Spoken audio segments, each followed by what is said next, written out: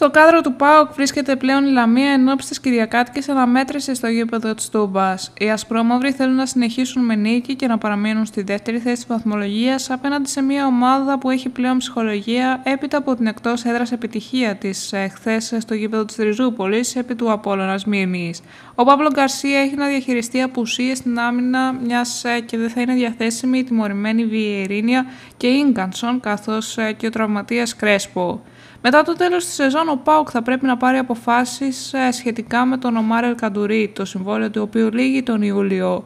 Για την ώρα δεν έχει υπαρθεί καμία απόφαση για το μέλλον του Μαροκινού Μέσου. Στα μέσα της σεζόν είχαν ξεκινήσει προκαταρκτικές ε, συζητήσεις για ενδεχόμενη ανανέωση του συμβολέου του Μαροκινού Χαφ, με τον ίδιο να εμφανίζεται διατεθειμένος να κάνει ακόμα και μείωση στις αποδοχές του για να πάρει συμβόλαιο για άλλα δύο χρόνια. Οι συζητήσεις έφτασαν ε, ως ένα σημείο και πάγωσαν. Ο φάκελος ανανέωσης ή όχι του συμβολέου του θα ανοίξει ξανά προς το τέλος της τρέχουσας αγωνιστικής σεζόν.